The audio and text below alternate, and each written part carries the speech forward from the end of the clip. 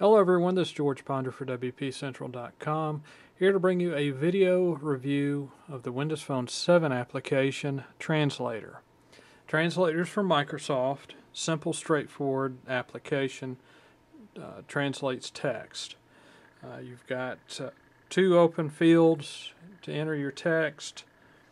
Uh, you've got five language, English, Italian, French, German, Spanish that you can translate to. Um, just tap the the language reference above each field and you, you get uh, your language selections.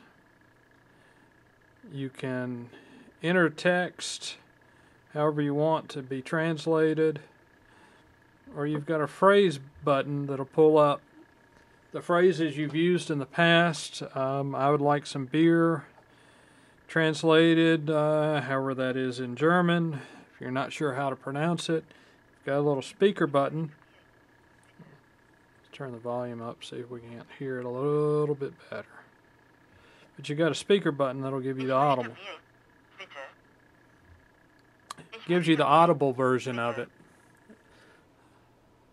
of the translation. Now, if you wanted to go from German to English, easiest way is hit the swap button and that swaps the translation direction.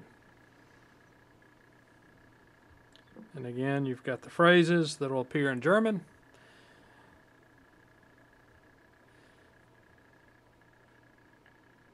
Where is the hotel? And your audible version.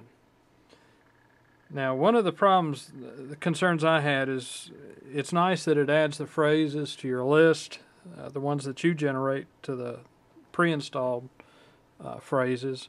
But what if you don't want them anymore? Uh, easy, easy fix. Um, I need to get rid of this one. You just tap and hold, and a delete option comes, pops up. There, it's gone. So you can sift through these. Um, You can do it for the pre-install as well. I'll never ask where the train arrives, so I hit delete and it's gone. Handy app for Microsoft. Uh, it's over at the marketplace. I believe it's running $1.99 and there is a free trial version available.